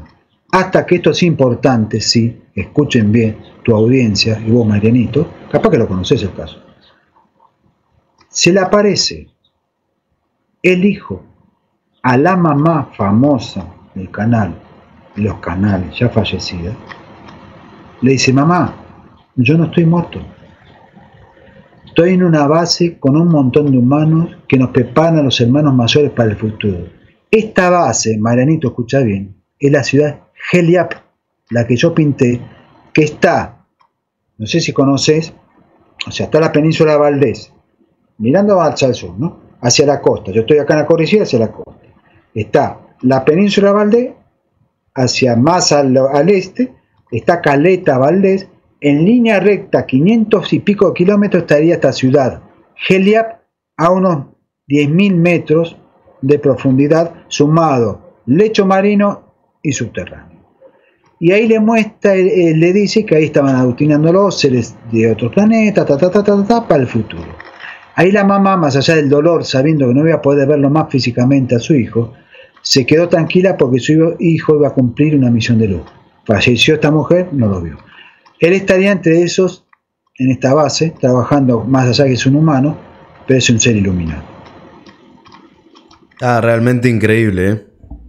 Realmente increíble.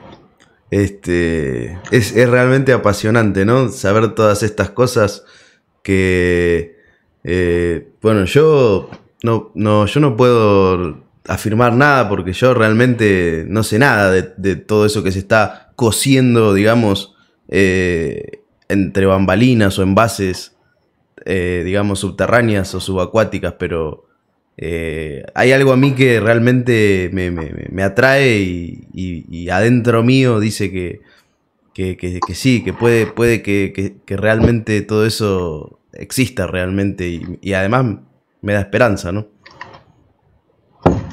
Mira, Marianito, eh, a ver,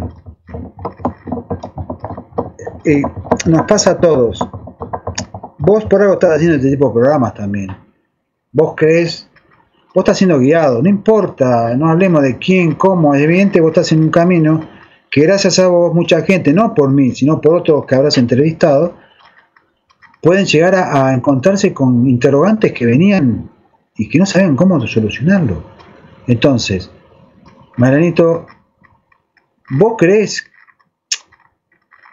vos estás trabajando, no importa, no importa tu nombre, tu, tu ascendencia, no importa. Vos venís trabajando para un plan. No importa que estés en Europa, estés donde estés, porque el mundo es uno solo, es una sola escuela. Y cuando llegue la luz, cuando llegue la luz, va a emerger como pequeñas fogatitas, no solo acá primero, porque después va a venir en todo el mundo la nueva era. La nueva era. Y yo te digo algo, esto es medio top secret, te voy a decir. Antes salud, a vos. ¿Eh? Salud. Salud. Yo tomo un vaso, un traguito de agua también. Esto es Sevena con limón, pero bueno, a vos y a tu audiencia. A ver, para no dechavar demasiado la identidad.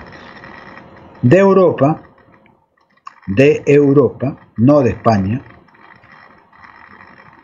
hay un personaje eh, que trabaja en Top Secret, importante, que habla del hombre gris de Argentina, de las profecías de Parra de China. ¿Y por qué te cuento esto? Porque cuando aparezca este hombre gris en Argentina, va a haber un amparo o protección o ayuda de distintos puntos de Europa. España también lo va a hacer, para que el plan se cumpla porque va a haber cambios. Ahora se termina la era oscura, está por venir la era de la luz, y ahí se van a manifestar cosas que hasta hoy no podíamos tenerlas en cuenta. Y este Tano, ya te dijo algo, Tano, se me fue la palabra, pero no importa, está trabajando por la luz que va a venir. Y él vive en Italia, no vive y no es argentino, no tiene ascendencia argentina. Esto es importante por vos también, Marianito, Porque donde no sitúen, la Tierra es una sola escuela. Nosotros ponemos las divisiones y los límites. Es una sola escuela. Somos todos alumnos de una, sola escuela. La escuela de la Tierra. Después de acá nos vamos y del otro lado nos tomarán dirán, ah, bueno, mira, rojo, azul bien, aprendiste una, tenés otra mal, te fuiste para abajo. Estas son escuelitas. Y por eso hay que agradecer que esta escuela nos brinda la posibilidad, aquellos que estamos ahora, capaz yo me muero mañana y listo, fui, de poder vivir este tiempo de cambio, porque a nivel, vos capaz fuiste universitario, y sabrás lo que estoy diciendo, no importa, lo sabes igual, es como un examen libre, es como que en esto, aquel que se aplique, sea mujer o hombre, después de todo lo que va a pasar, está con la pandemia también, va a subir más de 3 o 4 grados de máster esta universidad tierra da la posibilidad de ser maestro o maestra, sin con eso que agarre el orgullo. Y por eso en este momento es muy importante todo lo que estamos viviendo en este tiempo, en esta tierra, en esta cuelita, eh, em, la tierra. Porque estamos en momentos cruciales de cambio. Esto solo se da cada 25.000 años. Vos andás para atrás en esta historia que conocemos, griego, romano. Lo que va a venir, que es el cambio de era, que es que la parte magnética empieza a cambiar de la Tierra, será solamente cada 25.000 años. Por eso que nosotros para atrás no tenemos memoria, más allá de los romanos, los griegos. ¿Por quién construyeron las pirámides? ¿Cuántas civilizaciones hubo en esa época que después se diluyeron? Algunas élites están vivas todavía, esperando a que esta tierra cumpla va subiendo un escalón más en la escala evolutiva, por eso se llama la era de luz, y esa tierra nueva no va a poder albergar más tipo como nosotros, como yo, no, como vos no, tipo donde hay matanzas, bueno, tú historietas. Va a ocupar un lugar superior en la escala evolutiva y va el humano que viva en esa nueva tierra va a vivir más años terrestres sin enfermedades, comunicados directamente con hermanos mayores que van a bajar a dar enseñanza viva, tet a tet, no por libros y porque lo vimos en una nave. Y los animales, no va a haber matanza entre animales, como hay hoy. Y el humano que viva en esa época va a vivir más de mil años y picos terrestres en paz, en crecimiento y en armonía, con paisajes que van a cambiar. Van a emerger nuevas tierras, entre ellos la Atlántida, ya limpia, Lemuria y montón más, van a hundirse otros, em, otras tierras, porque va a cambiar la fisonomía del paisaje que tenemos hoy en la Tierra. Eso va a marcar la nueva era. Y los seres humanos que no tengan la vibración adecuada a esa nueva era por el trabajo o no trabajo, eso es personal, serán irán por ley de receptividad energética, muy famosa está esta profecía del Hercóbulus, serán absorbidos por un planeta cinco veces más grande que el de la Tierra, que irán a la época de piedra. Con eso no quiere decir que aquel que vaya a la época de piedra pierda todo lo que ha ganado ahora, no, queda dormido, queda el secreto.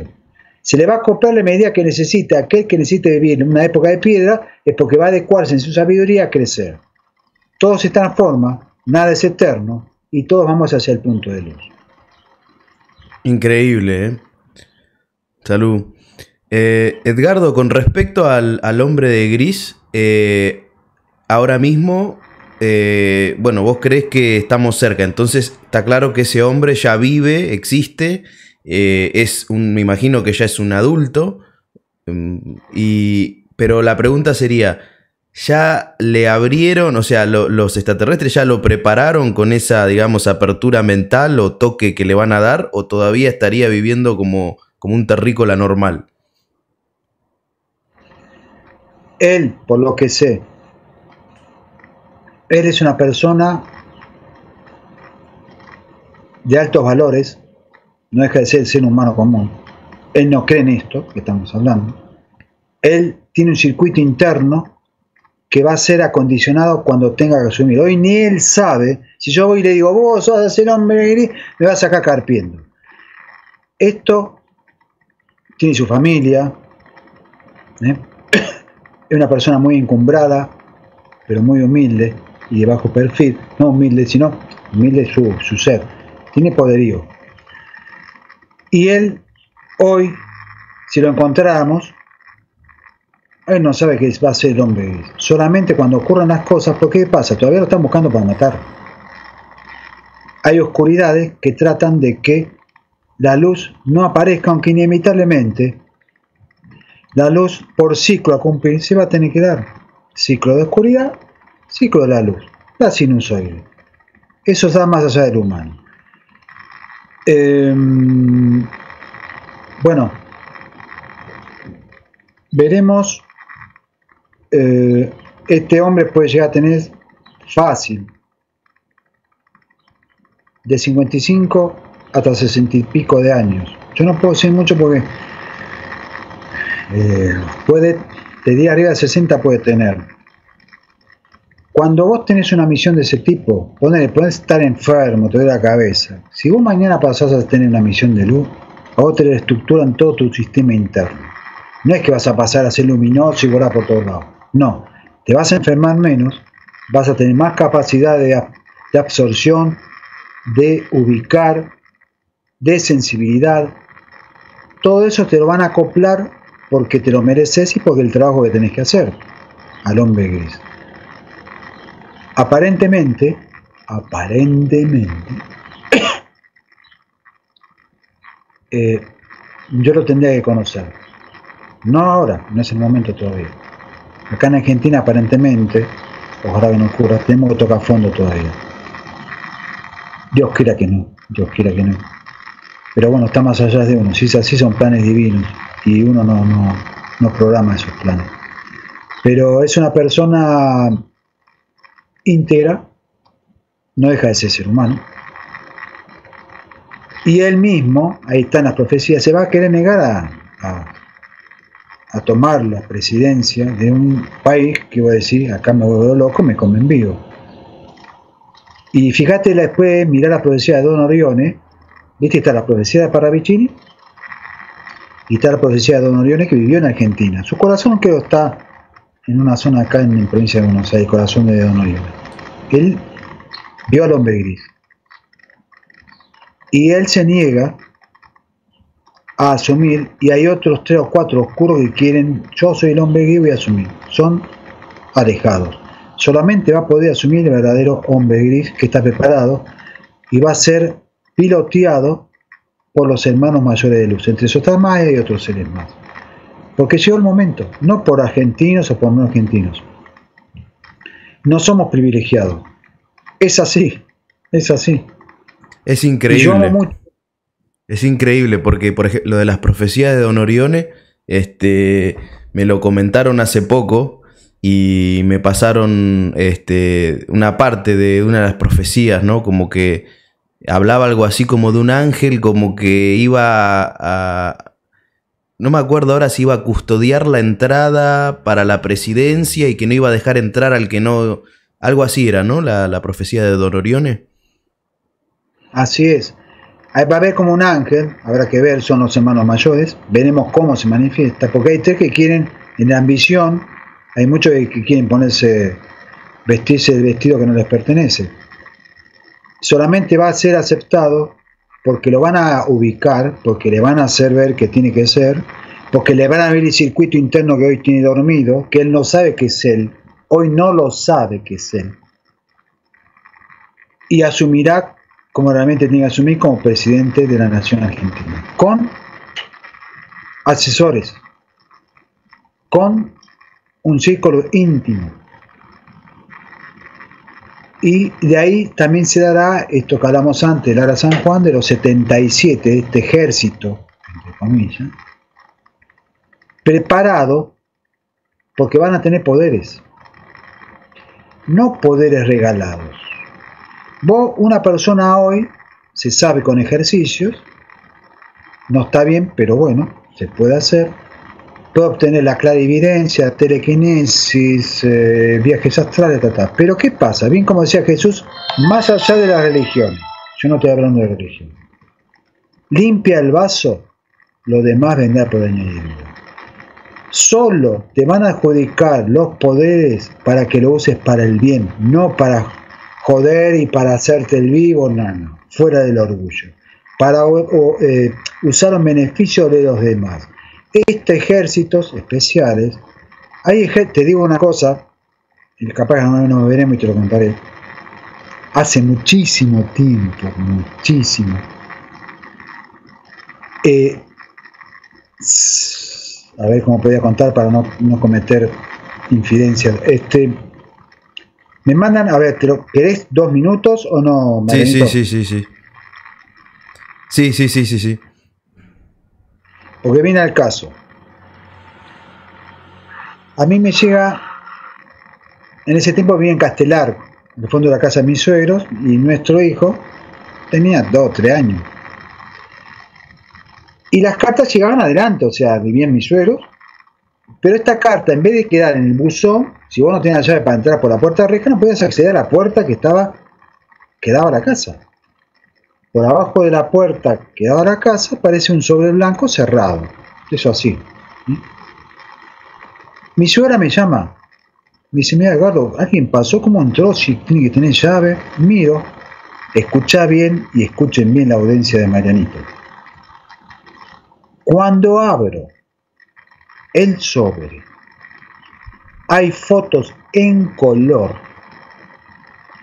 de antebrazos y de pantorrillas con pelos, o sea, yo deduje de que eran brazos o antebrazos de hombre o pantorrillas de hombres.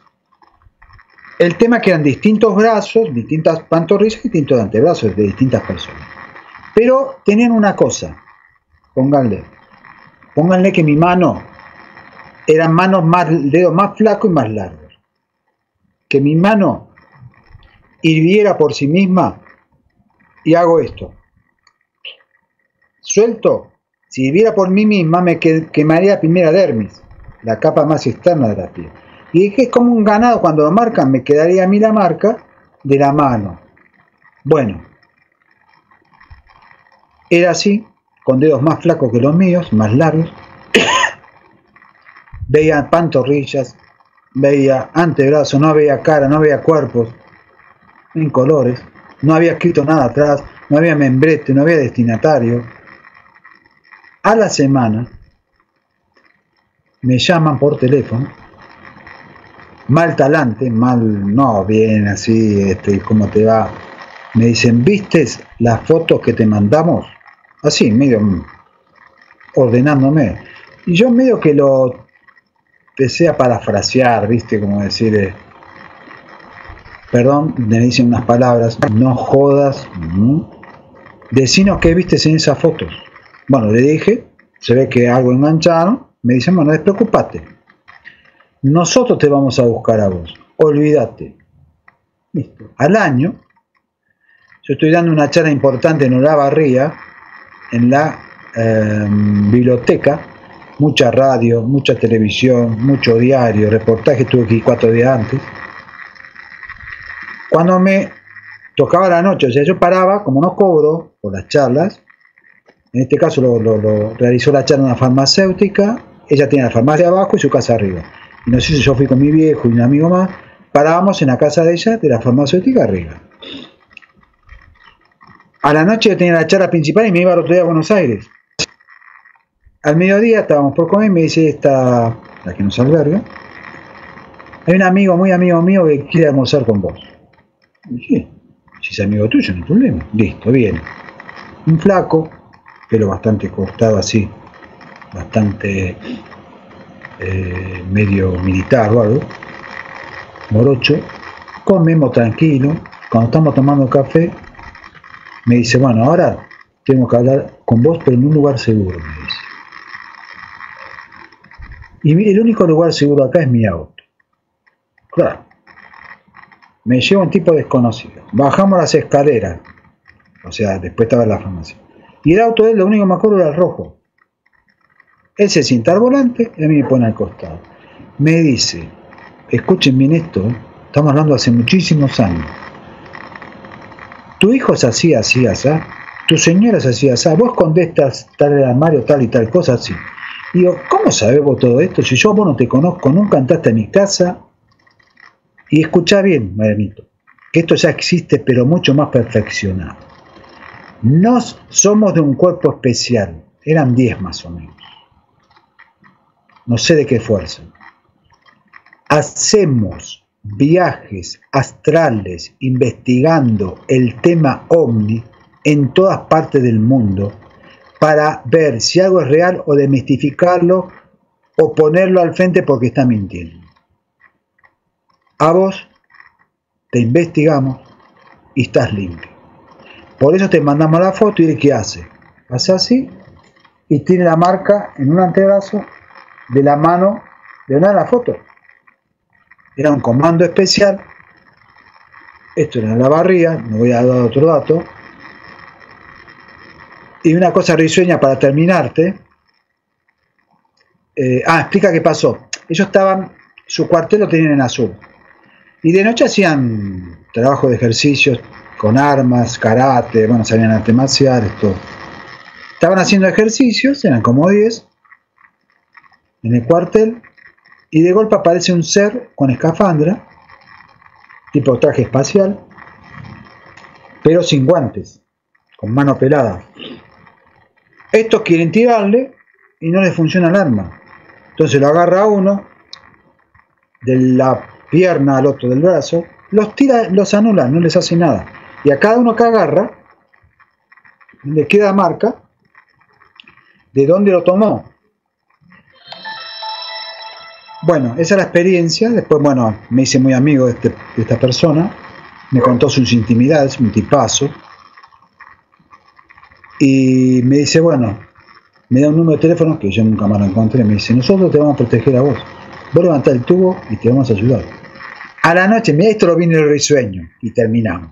Terminamos esto, después lo que vos quieras. En la charla, que era una charla muy grande, repleta de gente en la biblioteca de, de la barría, atrás estaba él, más ocho o nueve más, y con bandera vinieron a hinchar, como si fuera un partido de fútbol, a apoyarme. Nunca más los vi, di la charla, nunca más los vi. Y así siempre pasaron cosas extrañas con respecto a, con científicos me pasó, ya te hablaré una vez del agua viva. Pero siempre son así, aparecen, desaparecen y fuiste. Te tienen que contactar y vía. Así es un poco eso, Marianito. No, increíble. Muy, muy bueno, la verdad. Una historia increíble. O sea que estos muchachos eran, digamos, eran, o sea, trabajaban particular o era pertenecían al Estado, digamos, o alguna agencia.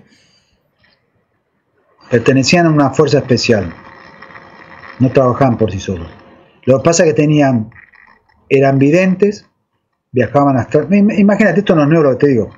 Vos averiguás, en Estados Unidos hay cuerpos especiales, rusos, ingleses, que hoy están por sobre la NASA, ponele, o la CIA, tienen poderes para trabajar como servicios. Y están por sobre la NASA y la CIA. Eso ocurre acá también.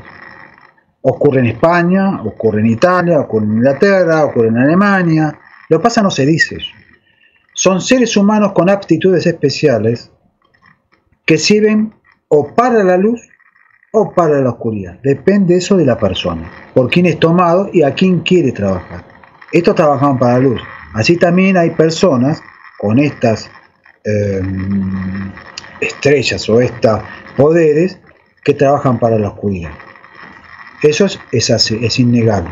Los dos poderes están ahí. Lo que pasa el poder de la luz está por sobre el poder de la. Claro.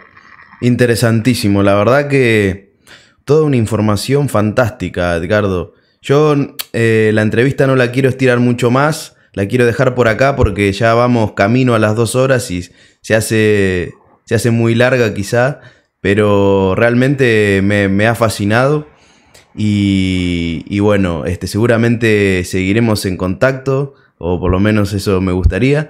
Y para concluir la entrevista, para cerrarla, me gustaría que, que, des un mensaje o que hagas una conclusión como para redondearla. Mira, Marianito, lo más importante es que la sociedad nos enseña que, que no valemos nada. Pasa en todo el mundo. Solamente aquel que es hermoso, aquella que es hermoso, la modelo. Tengamos en cuenta, esto va para todos, que todos somos únicos e irrepetibles. Que cada uno de nosotros tiene una misión, mediana, chica o grande, pero es una misión. Es como una página de un libro. No la muestra, el libro está incompleto. Tengamos fe, confianza en nosotros mismos, seamos gordos, flacos, pelados, no importa. Porque venimos de una esencia especial. Tengamos en cuenta eso, porque también eso es unificante. Entonces yo me quiero a mí mismo, no, que va, no, a ver, me voy a hacer ayuno. Es así, y los contactos existen por un lado interno, no por un lado externo. Nadie sabe quién es más que quién, gracias a Dios, porque los hermanos mayores ven el interno y nadie se puede jactar del interno. Nadie puede decir, mira mis medallitas. No, eso es verso. Porque ahí no entra el show. Y es el trabajador, sea mujer u hombre, o es la misionera o el, misionero. Por eso vos te agradezco, Marianito, eh, vamos a seguir con la relación, no te preocupes. Yo muchas veces viajo de Tara, capaz que en algún momento no nos vemos. Yo ahora no puedo viajar por la pandemia. Tengo mi cuñada en Milán. Pero contás conmigo lo necesites porque aparte estás cumpliendo una función, hermano. Es así. Cada uno tiene que cumplir su misión. Yo no puse tu camisa. No la camisa física. No puedo ser mariano. ¿Entendés? Entonces no, es como una rueda esto. La rueda tiene, la rueda eh, tiene perfil, o sea, tiene solo una, lo que rueda, pero según lo que tenga que hacer, se va mostrando un perfil. La, parte, toda la parte de la rueda tiene que apoyar lo que se está mostrando. En este caso, yo vos con tu programa. Después girás, pasás vos a apoyar al otro. Es así, tengamos valores, querramos no, valemos todos, no nos fijemos mucho afuera, porque siempre va a haber alguien mejor que uno. No, yo tengo para dar, no importa. Si estoy mal, si estoy enfermo, si tengo un problema físico o, me falta algún miembro. No, hermano, estamos para dar, eso es lo importante para tu audiencia, o sea, tengamos fe, encontremos no y busquemos para, justamente, hay palabras que la tienen que dar cada persona, porque es, es una identidad. Entonces, es eso, yo te agradezco, Marianito, muchísimas gracias a vos, a tu audiencia, por la atención, por, por la deferencia que tenés, sos un trabajador de esto, no importa, pero sos trabajador de esto. Y entre trabajadores, mañana, Dios, más allá de las religiones, o como se le quiera llamar, lo va a unificar. Esto es por ley de vibración, por ley de afinidad. Así que bueno, gracias a vos, gracias a tu teleaudiencia, como se le quiera llamar, los abrazo a todos de corazón. Cuenten conmigo, vos también contás conmigo. Muchísimas gracias por tu entrega, Marianito. Y muy lindo tu programa. Muchísimas gracias, Edgardo. No, muchísimas gracias a vos también por tu tiempo y esta, esta disposición a, compartir toda esta información. Se me ocurrió también que si te parece bien, este, finalizada la entrevista, vos me podés este, pasar aquellas, aquellos cuadros, aquellas pinturas que vos eh, quieras que yo inserte al final de la entrevista para que la gente pueda apreciar también tu, tu, arte y, tu trabajo, este, una especie como de, de, mini exposición al final de la entrevista que, comenzará automáticamente. Y, bueno, no sé, eso si, si estás de acuerdo, ya después me, me pasás las pinturas. este, y te iba a decir otra cosa también. Ah, era tus formas de contacto. ¿Cuál? Vos no sé si, si dejás formas de contacto para que la gente te escriba, este, no sé si tenés esa posibilidad. Sí, Marenito. Me pueden buscar por Facebook como Edgardo Marranti o, googlear Edgardo Marranti Pintura Unidimensional o en Instagram Pintura Unidimensional, porque la pintura que, a mí me dieron se llama anidimensional. En otro momento te lo explicaré quiere decir. Hay un cuadro que se llama La Casa o Fruto Anidimensional. Hay más de 1600 cuadros y sigo pintando. Bueno, es eso, eh, que buscan el carro amarrante o pintura dimensional y ahí le va a aparecer todo. Y tal, tengo un sitio, una página web que se llama www.marranti.com.ar, ahí está. Hay obras que está bueno para tus oyentes. Pueden entrar, hay un link que dice obras. Métanse en la obra, habrá como 800 cuadros, pueden sacarlo, imprimirlo, hagan lo que quieran, no me pidan permiso a mí. Hay escritos, hay libros, ahí están los 14 libros para que la gente los imprima. No me tienen que pedir permiso a mí. Háganlo, pues está para eso. Yo no soy el dueño. Hoy soy un mero custodio. Perfecto. Y esa información de contacto, tanto del Facebook como de la página web, lo voy a dejar apuntado abajo del video en la descripción. Yo fui muy amigo de Pedro Maniú y he pintado, esto es una novedad, no para la gente, pero sí para tu audiencia y para vos mismo. Pedro Maniú es uno de ellos. Después explicaré por qué. Lo mismo Tona o Toto, que ya están fallecidos ambos, yo he pintado cuadros cómicos de ellos, tanto de Pedro Maniú, comúnmente conocido terrestremente, y de Ángel María Tona o Toto, de eh, la Aurora Estancia Aurora. Si querés yo te lo paso por el WhatsApp a ver si vos lo podés meter acá. Perfecto, lo que vos me pases yo lo inserto al final de la entrevista para que toda la gente lo pueda, lo pueda ver. Dale. Bueno, Edgardo, te agradezco mucho nuevamente y te mando un fuerte abrazo. Yo también, gracias Maranito, saludos para toda la gente ahí en España, un abrazo de corazón y gracias, gracias por tu deferencia. Muchas gracias. Y a todos los espectadores, muchas gracias y nos vemos en el próximo programa.